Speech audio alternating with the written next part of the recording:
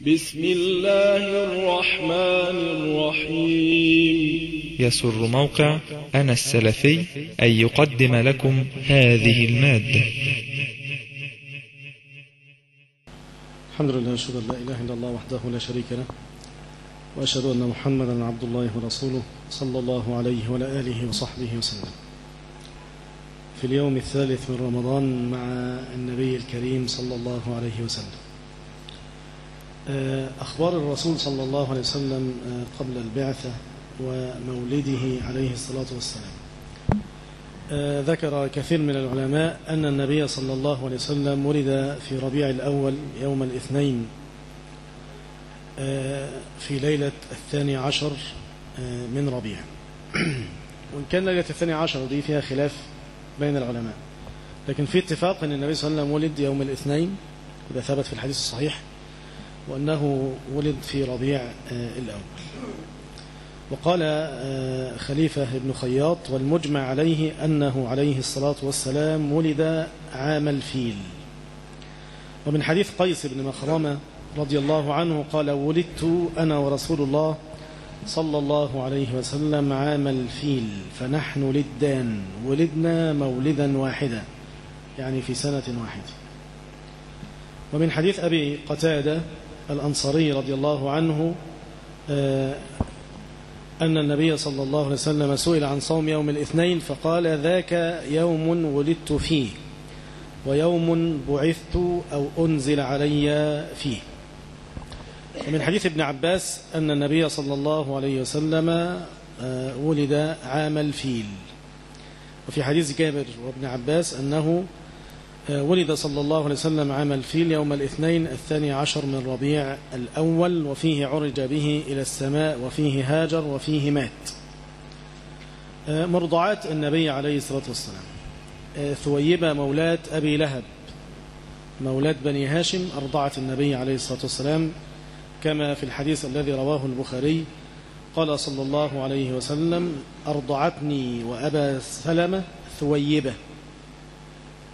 أو ثويبة. ثويبة دي كانت أمة لأبي لهب فأرضعت النبي عليه الصلاة والسلام مع أبي سلمة.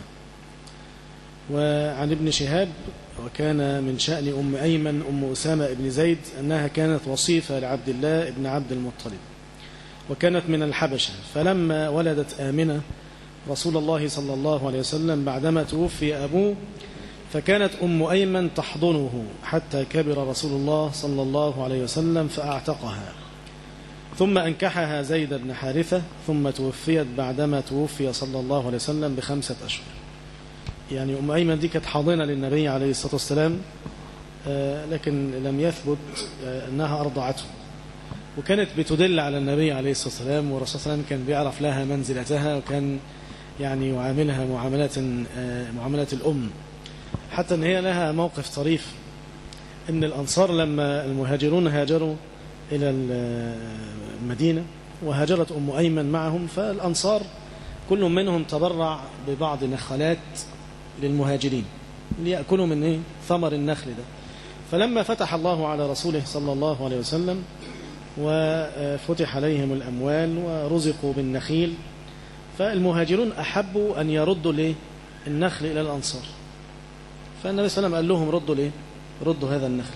أم أيمن رفضت. قالت لا أرد شيئا. والنبي صلى الله عليه وسلم كان يتبسم لها يعني لما يعرف من حقها عليه الصلاة والسلام. لأن كان لها يعني منزلة عنده لأنها حضنته. وكان أبو بكر يكرم أم أيمن بالزيارة بعد وفاة النبي صلى الله عليه وسلم. فكان يقول لعمر انطلق بنا إلى أم أيمن نزورها كما كان رسول الله صلى الله عليه وسلم يزورها. ذكر هنا قصة حليمة السعدية وهي أشهر مرضعة للنبي عليه الصلاة والسلام والظاهر أن النبي صلى الله عليه وسلم مكث عندها زمنا طويلا. تقول حليمة أنها خرجت في نسوة من بني سعد يلتمسون الرضعاء بمكة. ودي كانت عادة معروفة عند العرب. لما يتولد لك ولد فتبحث له عن ظئر ظئر يعني امرأة ترضعه. يخرجون به إلى البادية فترضعه وترعاه ها؟ لأن كان النساء اللي هم يعني من علية القوم لم يكونوا يرضعون أبناءهم فكان دي عادة عند العرب. بتقول حليمة خرجت في أوائل النسوة على أتان لي قمراء الأتان اللي هي أنثى الحمار ركب حمارة وقمراء يعني أحمر فابيض. ومعي زوجي الحارث ابن عبد العزة أه لقد أدمت أتاننا. يعني الإتان بتاعتها الحمارة بتاعتها تعورت من الطريق خدت بالك؟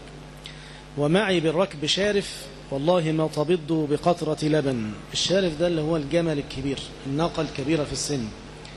فبتقول الناقة اللي معانا كبيرة في السن ما بتنزلش نقطة لبن. خدت بالك؟ ده علامة على الإيه؟ الهزال والضعف والجدب اللي كانوا فيه. يقول في سنة شهباء يعني سنة جدباء كمان يعني السنة كانت سنة قحط.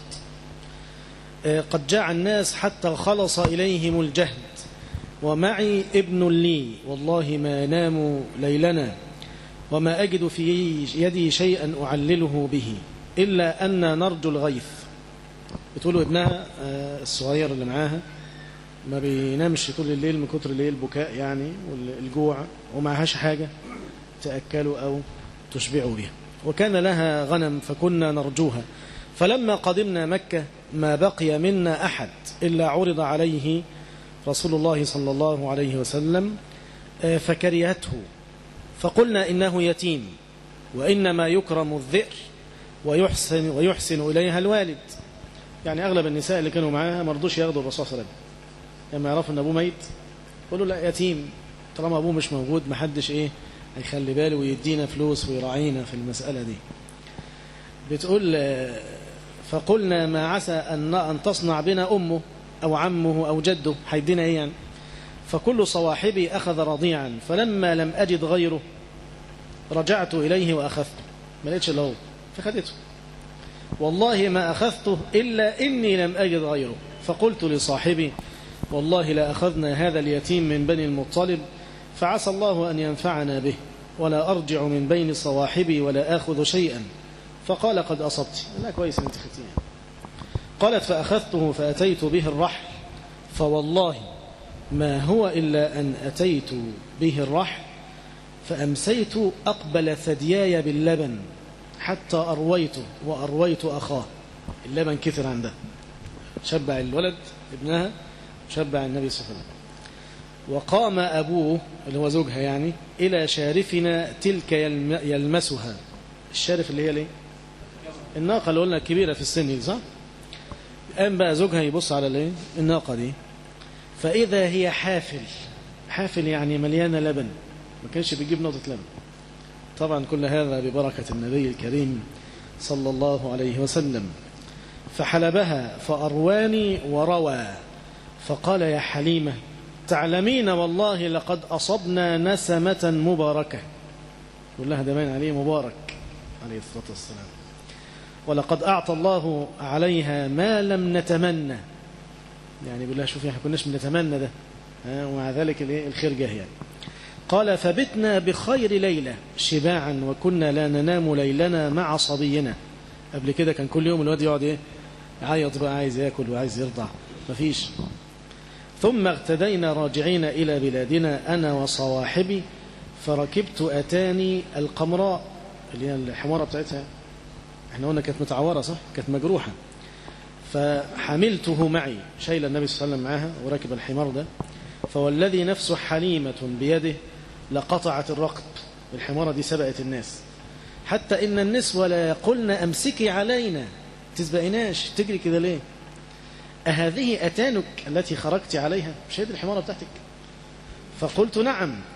فقالوا إنها كانت أدمت حين أقبلنا فما شأنها؟ مش دي كانت مجروحة؟ ما شأنها؟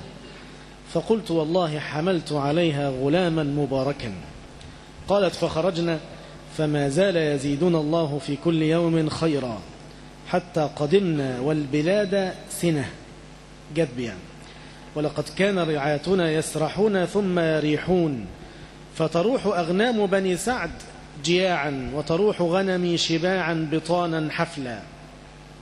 يعني غنم الناس يروح يسرحوا مع الغنم بتاعتهم فالغنم بتاعتها ترجع إيه؟ شبعانة ومروية ومليانة لبن والغنم بتاعت الناس جعانة. يقول فنحترب ونشرب فيقول الناس ما شأن غنم الحارث وغنم حليمة تروح شباعا حفلة وتروح غنمكم جياعا. اشمعنى بيقولوا للخدام بتاعتهم ان هم بيرعوا الغنم يعني. وإلاكم اسرحوا حيث تسرح غنم رعائهم. روحوا اسرحوا معاهم شوفوا هم بياكلوا منين. ودوهم في الحتة دي. فيسرحون معهم فما تروح إلا جياعا كما كانت وترجع غنمي كما كانت. يعني برضو يروحوا ياكلوا معاهم ودول يرجعوا إيه؟ جعانين ودول شبعانين قالت وكان يشب يشب شبابا ما يشبه أحد من الغلمان. يعني الرسول كان بيكبر بسرعة. يشب في اليوم شباب الغلام في الشهر وفي الشهر شباب السنة. فلما استكمل سنتين أقدمناه مكة أنا وأبوه. فقلنا والله لا نفارقه أبدا ولا ونحن نستطيع. فلما أتينا أمه قلنا أي ذئر والله ما رأينا صبيا قط أعظم بركة منه. وإنا لنتخوف عليه وباء مكة وأسقامها فدعيه نرجع به حتى تبرئي من دائك. يعني هم لقوا أم النبي صلى الله عليه وسلم مريضة فقالوا لها إيه؟ سيب الغلام ده عندنا. إحنا خايفين عليه يقعد في مكة أحسن يصاب بالمرض ها ويتعدي. فلم نزل بها حتى أذنت فرجعنا به فأقمنا أشهرا أربعة أو ثلاثة. فبينما هو يلعب خلف البيوت هو وأخوه في بهم له إذ أتى أخوه بهم يعني بهائم يعني صغيرة إذ أتى أخوه يشتد أخوه يجري وأنا وأبوه في البدن فقال إن أخي القرشي أتاه رجلان عليهما ثياب بيض رجلين لابسين أبيض فأخذاه وأضجعاه فشق بطنه فخرجت أنا وأبوه يشتد طلعنا نجري. خايفين عليه. شوفوا إيه اللي حصل. فوجدناه قائما قد انتقع لونه. يعني لونه إيه؟ اتغير أبيض. فلما رآنا أجهش إلينا وبكى. قالت فالتزمته أنا وأبوه. ضممناه إلينا. في حضنها يعني. فقلنا ما لك بأبي أنت؟ فقال أتاني رجلان وأضجعاني فشق بطني وصنع بي شيئا. ثم رداه كما هو. فقال أبوه والله ما أرى ابني إلا وقد أصيب الحقي بأهله فرديه إليهم قبل أن يظهر له ما نتخوف منه. خافوا بقى. الحادثة دي حادثة شق صدر النبي عليه الصلاة والسلام ورد فيها يعني روايات أخرى أنه أتي بماء برد فغسل به قلبه ثم قال أتيت بالسكينة فضراها في قلبي. وجاء في حديث آخر أنهم استخرجوا من قلب النبي صلى الله عليه وسلم شيئا وقالوا هذا حظ الشيطان منك وملأ قلبه سكينة وإيمانا. فدي حادثة شق صدر النبي عليه الصلاة والسلام. وجاء في أحاديث أخر أن الصحابة كانوا يرون أثر ذاك المخيط في صدر النبي عليه الصلاة والسلام. لكنها كانت عملية جراحية يعني أجرتها له الملائكة له صلى الله عليه وسلم. خافوا بقى على النبي صلى الله عليه وسلم. يحصل له إيه؟ حاجة. بتقول فاحتملناه فقدمنا به على أمه. فلما رأتنا أنكرت شأننا. عشان هم كانوا حريصين أنهم إيه؟ ياخدوه. وقالت ما رجعكما به قبل أن أسألكما أنا قلت لكم تعالوا. ما جيتوا لي يعني. وقد كنتما حريصين على حبسه. فقلنا لا شيء. إلا أن قد, قد قضى الله الرضاعة وسرنا ما نرى وقلنا نؤويه كما تحبون أحب إلينا. فقالت كلا. ده في حاجة. إن لكما شأنا. أخبراني ما هو. فلم تدعنا حتى أخبرناها. قالت لهم مش مصدقاهم يعني. إيه اللي حصل؟ فقالوا لها اللي حصل, حصل كذا كذا. فقالت كلا والله لا يصنع الله ذلك به. إن لابني شأنا. أفلا أخبركما خبره إني حملت به؟ دي أمه بقى اللي تتكلم اللي آمنة. والله ما حملت حملا قط كان أخف علي منه ولا أيسر منه ثم رأيت حين حملته خرج مني نور أضاء منه أعناق الإبل ببصرة أو قصور بصرة. ثم وضعته حين وضعته فوالله ما وقع كما يقع الصبيان. لقد وقع معتمدا بيديه على الأرض رافعا رأسه إلى السماء. فدعاه عنكما فقبضه وانطلقنا. قلت لهم يعني ما تخافوش طمنتهم. تقول إن ابني ده ليس كسائر الإيه؟ الأبناء عليه الصلاة والسلام. فكان النبي عليه الصلاة والسلام مباركا صلى الله عليه وسلم في صغره. آه، كفالة آه، جده له وحبه له. يقول من حديث كندير بن سعيد عن أبيه قال حججت في الجاهلية فإذا رجل يطوف بالبيت وهو يرتجل يقول ربي رد راكبي محمدا رده لي واصطنع عندي يدا. واحد بيدعي ربنا يقول يا رب رد محمد. فقلت من هذا؟ قال عبد المطلب بن هاشم جد النبي عليه الصلاة والسلام. آه، ذهبت إبل له فأرسل ابن ابنه في طلبتها فاحتبس عليه. عبد المطلب ضاع منه إبل فبعت النبي صلى الله عليه وسلم يدور عليها فتأخر عليه. فقعد بيدعي ربنا بقى إيه؟ إن ربنا إيه؟ يرده يعني. يقول ولم يرسله في حاجة قط إلا جاء بها. فالنبي صلى الله عليه وسلم كان مبارك. منين ما يبعته في حاجة؟ يجيبها ويجي. قال فما برحت حتى جاء النبي صلى الله عليه وسلم وجاء بالإبل. فقال يا بني لقد حزنت عليك كالمرأة حزنا لا يفارقني أبدا. كان خايف عليها. آه، رعيه صلى الله عليه وسلم للغنم وعصمة الله له من الزلل. من حديث أبي هريرة عن النبي صلى الله عليه وسلم قال ما بعث الله نبيا إلا رعى الغنم. فقال أصحابه وأنت يا رسول الله؟ فقال نعم كنت أرعاها على قراريط لأهل مكة. هنا في فايدتين خد بالك. حاجة الأولانية تواضع النبي صلى الله عليه وسلم. بيخبر أنه كان بيرعى الغنم عليه الصلاة والسلام. لم يكن يتكبر صلى الله عليه وسلم على أن يخبر بماضيه وأنه كان رجل من أحد الناس يأكل كما يأكل الناس ويعيش كما يعيش الناس. تعرف النبي صلى الله عليه وسلم مرة واحد شافه وعارف أن الرسول صلى الله عليه وسلم الراجل لما شاف النبي صلى الله عليه وسلم ارتجف ارتعد. والحتة دي كده بين كتفه وبين رقبته قعدت تتهز. فالنبي صلى الله عليه وسلم قال له هون عليك مالك هون عليك؟ إنما أنا ابن امرأة كانت تأكل القديد بمكة. كانت بتأكل زي الناس وعايشة زي الناس. تخافش. يا سلام على الزمن ده. ده في واحد لما يشوف الناس بتخاف منه يبقى فرحان يقول يا سلام الناس خايفة. كويس. خوفهم يا ابن زيد. خدت بالك؟ صح؟ فالنبي صلى الله عليه وسلم كان متواضعا يخبر بحياته. الدرس الثاني رعاية النبي صلى الله عليه وسلم للغنم والأنبياء. العلماء بيقولوا فيها فائدة. قال لك الغنم دي فيها صفات بتعلم راعيها السكينة والحلم والصبر. والنبي صلى الله عليه وسلم تعرف أخبر إن السكينة في أهل الغنم وللفخر والخيلاء في أهل الخير والقسوة والجفاء في الفدادين أصحاب الإبل. عليه الصلاة والسلام. شوف النبي صلى الله عليه وسلم بيقول لك على حاجات نفسية خطيرة. الإنسان بيتأثر دايما بمهنته. انت عارف لما تلاقي واحد بيتعامل مع الناس الميعين معلش إحنا في رمضان ومش عايز أقول يعني واحد يعني كوافير يعني بيسرح للنساء نعوذ بالله تلاقيه راجل مايع منعدم الرجولة ليه؟ تأثر بمهنته صح ولا مش صح؟ لما واحد يتعامل مع الناس الخشنين والمجاهدين تلاقيه راجل إيه؟ صلب صح ولا مش صح؟ قال لك البيئة بتؤثر في الإنسان والعمل بتاعه آه لذلك النبي صلى الله عليه وسلم شوف الحديث ده بيقول إيه؟ السكينة في أهل الغنم. أنت تلاقي الغنم دي من أكتر البهائم والحيوانات سكينة وهدوء. ما تعملش دوشة صح؟ تلاقي الخروف ماشي مدلدل ودانه كده واحدة واحدة خدت بالك؟ ماشي. يعني أقصى حاجة إيه؟ مأمأ يعني شوية دوشة. هادي ها؟ والفخر والخيلاء في أهل الإيه؟ الخيل. اركب أنت فرس كده تبص تلاقي الفرس ماشي بقى يتبختر ويتمخطر خدت بالك؟ فتلاقي اللي عنده خيل كتير بقى وبتاع أنفه في السماء بقى كده وعنده فخر وخلاء وكبر ربنا عافينا والقسوة والجفاء في أهل الإيه؟ الفدادين أهل الإبل اللي عندهم عشرات الإبل. ليه؟ قال لك الجمل عنده شدة الجمل قاسي لذلك النبي صلى الله عليه وسلم في الحديث الثاني يبين أن الإبل فيها شيء من خلق الشياطين.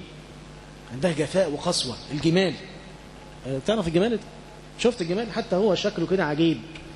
أفلا ينظرون إلى الإبل كيف خلقت؟ المهم يا إخواني النبي صلى الله عليه وسلم رأى عليه الغنم والأنبياء من قبله. قالوا كانوا هذا تدريبا ليتعلم الحلم لكي يسوس قومه. عايزه عايزه صبر لعلمك. لما تجيب لك أنت 100 معزه كده وتقعد بهم في الصحراء خدت بالك تتعلم الصبر. كل يوم يدوك درس. ومعزة راحت شمال ومعزة راحت يمين. وتجيب دي عايزة تشرب ودي خدت بالك؟ وتقعد ترتبهم وتخلي بالك منهم كده. يعلموك الحلم. والصبر والسكينة والتواضع. فلعل ده كان من الحكمة إن ربنا سبحانه وتعالى جعل أنبياءه يرعون الغنم. يقول الحديث جابر قال كنا مع النبي صلى الله عليه وسلم نكتني الكباث الكباث يعني كانوا بيقطعوا عود الأراك اللي هو بتاع السواك ده. فقال عليه الصلاة والسلام عليكم بالأسود منه فإنه أطيبه لهم نقي الأسود بيقطعوه. قلنا وكنت ترعى الغنم يا رسول الله؟ يعني عارف الأشجار وعارف الحاجات. كنت ترعى الغنم؟ قال نعم. وهل من نبي إلا رعاها؟ وهل من نبي إلا رعاها؟ هنا الحديث دوت بيحكي فيه النبي صلى الله عليه وسلم عن موقف حدث قبل بعثته. يقول ما هممت بقبيح مما كان أهل الجاهلية يهمون به. ربنا عصمه. النبي صلى الله عليه وسلم ربنا اصطفاه. اختاره. فعصموا قبل البعثة من فعل القبائح. بيقول إلا مرتين من الدهر كليتهما كلتيهما يعصمني الله منهما. قلت ليلة لفتى كان معي من قريش بأعلى مكة في أغنام لأهله يرعاها أبصر إلى غنمي حتى أثمر هذه الليلة بمكة كما يثمر الفتيان. يعني أسهر مع الشباب يعني. قال نعم فخرجت. يقول له خلي بالك من الغنم بتاعتي أنا رايح إيه؟ أسهر مع الشباب. فخرجت فجئت أدنى دار من دور مكة سمعت غناء. وضرب دفوف ومزامير. فقلت ما هذا؟ فقالوا فلان تزوج فلانا. لرجل من قريش تزوج امرأة منهم. فلهوت بذلك. يقول فغلبتني عيني. يعني رسول الله مجرد ما سمع ده قعد فايه نام. يقول فما أيقظني إلا حر الشمس. فرجعت فقال ما فعلت؟ فأخبرته. قال ما عملش حاجة. نمت. خد بالك؟ وفي الليلة في الليلة الثانية نفس الموضوع. بيقول صلى الله عليه وسلم والله ما هممت بعدها بسوء مما يعمل أهل الجاهلية حتى أكرمني الله بنبوته النبي صلى الله عليه وسلم اشترك في حلف الفضول قبل البعثة. إيه حلف الفضول ده؟ يحكي عبد الرحمن بن عوف قال قال صلى الله عليه وسلم شهدت حلف الفضول مع عمومتي وأنا غلام فما أحب أن لي حمر النعم وأني أنكثه حلف الفضول كما قال محمد بن إسحاق تداعت قبائل من قريش إلى حلف فاجتمعوا له في دار عبد الله بن جدعان لشرفه ونسبه. عبد الله بن جدعان ده كان من كبار العرب وكان شريفا في قومه. سيدة عائشة سألت النبي صلى الله عليه وسلم عن عبد الله بن جدعان ده. قالت له إيه فاكر؟ عبد الله بن جدعان ده كان راجل شريف بيقري الضيف ويطعم الطعام وينفق على الفقراء والمساكين. بس مات قبل البعثة. قالت يا رسول الله سيدة عائشة تقول يا رسول الله رأيت عبد الله بن جدعان كان يفعل ويفعل هل هذا نافعه؟ هينفعه يوم القيامة؟ قال لا. إنه لم يقل يوما رب اغفر لي خطيئتي يوم الدين. طب نرجع لقصة حزب الفضول حلف الفضول. اجتمعوا في دار عبد الله بن جدعان بنو هاشم وبنو المطلب وبنو أسد وبني زهرة. تعاهدوا وتعاقدوا ألا يجدوا مظلوما من أهلها وغيرهم ممن دخلها من سائر الناس إلا كانوا معه وكانوا على من ظلمه حتى يردوا عليه مظلمته. فسمت قريشا ذلك الحلف حلف الفضول. كان الظلم شائع في مكة وكان القوي يأكل الضعيف. فمرة واحد جاء عامل أحد كبراء مكة من التجار فاشترى منه سلعا ولم يعطيه الثمن. فوقف الرجل يصرخ وينادي ويتألم ويتوجع عشان يجد حد إيه؟ ينصره من هذا الرجل اللي الذي أخذ ماله. فقريش اجتمعوا لذلك وعملوا حلف الفضول ده. فالنبي صلى الله عليه وسلم شارك فيه. فالرسول صلى الله عليه وسلم بيثني على هذا الحلف. ليه؟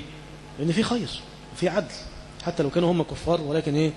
أرادوا أن ينصروا ليه المظلوم وأن ينصفوه من ظالمه قصة زواج النبي عليه الصلاة والسلام من خديجة رضي الله عنها.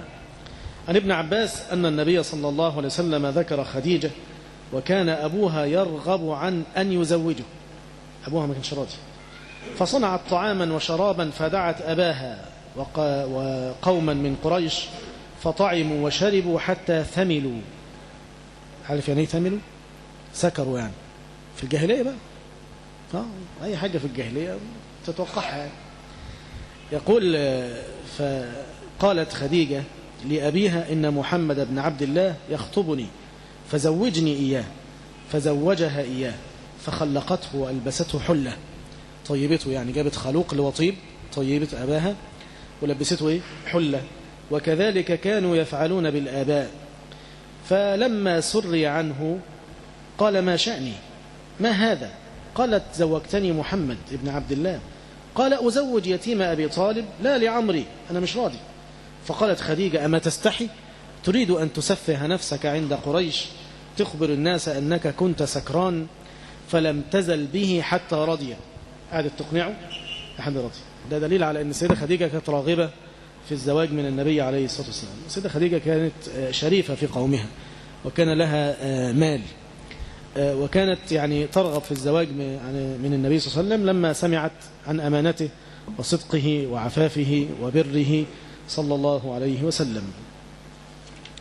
قال الإمام الزهري لم يتزوج رسول الله صلى الله عليه وسلم على خديجة حتى ماتت.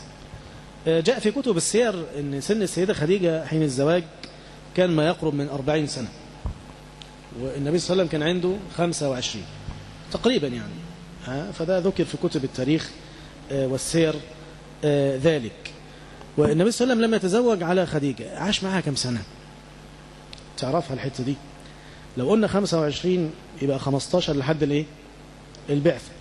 و13 سنة في مكة يبقى كام 28 هي ماتت سنة 10 يبقى عاش معاها 25 سنة. 25 سنة. لما تزوج عليه يبقى غالب شباب النبي صلى الله عليه وسلم كان مع امرأة إيه؟ واحدة في مكة. عشان اللي يكلمك عن النبي صلى الله عليه وسلم تحط صبعك في عينه. خدت بالك؟ إن النبي صلى الله عليه وسلم لما تزوج إلا امرأة واحدة في شبابه عليه الصلاة والسلام وبعد بعثته عشر سنين قعد مع امرأة إيه؟ واحدة. عشر سنة قبل البعثة وعشر سنين بعد البعثة. يقول ابن عباس خط رسول الله صلى الله عليه وسلم في الأرض أربعة خطوط. فقال أتدرون ما هذا؟ قالوا الله ورسوله أعلم. قال صلى الله عليه وسلم أفضل نساء أهل الجنة خديجة بنت خويلد وفاطمة ابنة محمد صلى الله عليه وسلم ومريم ابنة عمران وآسية ابنة مزاحم امرأة فرعون. دول خير نساء الأرض وأكمل نساء الأرض. خديجة طبعا بنتها إيه؟ فاطمة رضي الله عنها. ومن حديث علي قال صلى الله عليه وسلم خير نسائها مريم وخير نسائها خديجة. وفي حديث أبي هريرة قال أتى جبريل عليه السلام النبي صلى الله عليه وسلم فقال يا رسول الله هذه خديجة قد أتت معها إناء فيها إدام وطعام أو شراب فإذا هي أتتك فاقرأ عليها السلام من ربها ومني وبشرها ببيت في الجنة من قصب لا صخب فيه ولا نصب. بيت في الجنة من قصب يعني بيت من لؤلؤ لا صخب فيه ولا نصب. الصخب اللي هو الصوت المرتفع والنصب اللي هو التعب أن الجنة نسأل الله سبحانه وتعالى أن يرزقنا إياها بفضله ومنه وكرمه. ليس فيها تعب ليس فيها نصب زي الدنيا. ده حتى الأكل متعب يا راجل في الدنيا. أما الجنة ما فيش حاجة تتعب فيش حاجة إيه؟ تزعج. لا يبغون عنها حولا. شارك النبي صلى الله عليه وسلم في بناء الكعبة وحمل حجارتها بنفسه صلى الله عليه وسلم. جاء في حديث جابر ابن عبد الله قال إن النبي صلى الله عليه وسلم كان ينقل معهم الحجارة للكعبة وعليه إزاره. فقال له العباس عمه يا ابن أخي لو حللت إزارك فجعلته على منكبك دون الحجارة. قال فحله. فجعله على منكبه فسقط مغشيا عليه. فما رؤي بعد ذلك اليوم عريانا عليه الصلاة والسلام. قبل البعثة برضه إحنا كل ده بنتكلم قبل الإيه؟ البعثة. المرة الجاية هنتكلم عن البعثة إن شاء الله. آه آه الفصل اللي بعد كده الحادي عشر تحكيم قريش للنبي عليه الصلاة والسلام في رفع الحجر. لما أرادوا أن يرفعوا الحجر يعني قريشا اختصموا فيه. فقالوا يحكم بينا أول رجل يخرج من هذه السكة. قال وكان صلى الله عليه وسلم أول من خرج عليهم. فقالوا قد جاء الأمين. كان معروف النبي صلى الله عليه وسلم. شوف ده تمهيد من ربنا سبحانه وتعالى. قضاء وقدر منه عز وجل تمهيد لإقامة الحجة على العباد. النبي صلى الله عليه وسلم كان مشهور بالصدق والعفاف والأمانة وعلى أعلى درجات المصداقية في قومه. لم يكن يجرؤ أحد أن يكذبه عليه الصلاة والسلام. خد بالك؟ كل ده تمهيد. وهنا بناخده درس مهم لكل داعية وكل إنسان يعني يتولى نصيحة الخلق. لابد يكون لك مصداقية تكون صادق تكون أمين. لا تقبل الدعوة من إنسان كذاب أو خائن أو مرتشي أو حرامي. فعش ها؟ ولذلك النبي صلى الله عليه وسلم لما وقف يدعوهم إلى الله سبحانه وتعالى أراد أن يقيم الحجة عليهم قال أن يبلغهم. قال لهم إيه؟ تعرف قال لهم أرأيتم؟ لو أني أخبرتكم أن خيلا تغير عليكم خلف هذا الوادي في جيش جاي يهجم عليكم أكنتم مصدقين؟ قالوا نعم. ما علمنا عليك كذبا قط. وأنت عمرك كذبت؟ كذبتش أبدا. قال فإني نذير لكم بين يدي عذاب شديد. قالوا تبا لك. خدت بالك؟ صدقوش النبي صلى الله عليه وسلم. أقام عليهم الحجة. الأول. ترى هرقل هرقل ده كان عظيم الروم. وكان رجل من أهل العلم فيهم. لما جاءوا جواب النبي صلى الله عليه وسلم قرأوا. وبعدين دور على واحد من العرب يسألوا عن النبي صلى الله عليه وسلم. فلقى قبيلة أو مجموعة من العرب فيهم أبو سفيان. جاءوا إلى بلاد الشام تجارا. فمسكوهم وجابوهم. من أقربكم إلى هذا الرجل الذي يزعم أنه نبي؟ قال أبو سفيان قال له تعالى من ضمن الأسئلة سأله سؤال دقيق أوي مهم وخطير. قال له عاش فيكم قبل ذلك ما عاش؟ هل جربتم عليه كذبا يعني النبي صلى الله عليه وسلم قبل البعثة عاش كم سنة؟ ها؟ 40 سنة. 40 سنة يعني الإنسان لما يبلغ 40 سنة بيبقى ده يعني بلغ ذروة الكمال. خلاص بقى استوت الرجولة والخبرة و... ها؟ عاش بينكم ما عاش. هل جربتم عليه كذبا قبل أن يقول ما قال؟ خلال الأربعين سنة دول كذب مرة؟ قال لا والله ما جربنا عليه كذبا قط كذبش ولا مرة. فقال والله ما كان ليدع الكذب على الناس ثم يذهب فيكذب على الله. ما تجيش يقعد 40 سنة ما يكذبش على واحد من الناس. وبعد ما يكتمل الرجولة وتكتمل الخبرة والعقل يكذب على ربنا. صعبة دي. لأن الكذاب خد بالك بيتدرج بيكذب كذبة صغيرة. يلاقيها مشت يكبرها شوية. خدت بالك؟ يقعد يكبر الإيه؟ ما يبدأش أول ما يكذب يكذب كذبة إيه؟ ضخمة. عشان كده الناس اللي بيدعوا النبوة دي يعني مثلا اللي اسمه ميرزا غلام أحمد قدياني ده قبل ما يدعي النبوة ما ادعاش النبوة على طول كده. قال لا ده أنا بيجي لي أخبار وبتاع ده أنا بان عليا المهدي المنتظر. طيب ماشي أنت المهدي المنتظر. شوية؟ لا معلش كنتش واخد بالي. ده أنا المسيح. طيب ماشي. قال لهم لا. ده أنا بقى إيه؟ نبي جديد. طالما مشت خلاص خليها إيه؟ ماشية. وفي واحد بدأ مع الناس بادعاء النبوة ثم قال لهم إن الرب قد حل في. أعوذ بالله. قال لهم خلاص أنا بقيت ربنا. أعوذ بالله. الشاهد إن الإيه؟ الكذب بإيه؟ بيتدرج فالنبي عليه الصلاة والسلام كان مشهور بالصدق. حكموه في نقل حجارة مكة فقال اجعلوا الحجارة في مرط ثم ليمسكها القبائل كل قبيلة تمسك بطرف ويرفعونها. آخر حاجة ناخدوها النهارده تسليم الحجر عليه صلى الله عليه وسلم قبل النبوة. في حديث جابر بن سمرة الحديث ده رواه الإمام مسلم قال قال رسول الله صلى الله عليه وسلم إني لأعرف حجرا بمكة كان يسلم علي قبل أن أبعث. إني لأعرفه الآن. يا سلام. معجزة للنبي صلى الله عليه وسلم دي. الحجر كان بيسلم عليه. انت عارف العلماء بيقولوا الحكمة من كده إيه؟ قالوا ده من باب التأنيس للنبي صلى الله عليه وسلم قبل البعث. الحجر بيسلم عليه. حتى إذا كذبه الناس وتنكروا له استأنس صلى الله عليه وسلم بالجمادات. الجماد بيسلم عليه. الحصى صبح في يديه وبكى الجذع على فراقه صلى الله عليه وسلم كما يأتي إن شاء الله. أقول قولي هذا أستغفر الله لي ولكم. سبحانك اللهم ربنا وبحمدك أشهد أن لا إله إلا أنت أستغفرك وأتوب إليك.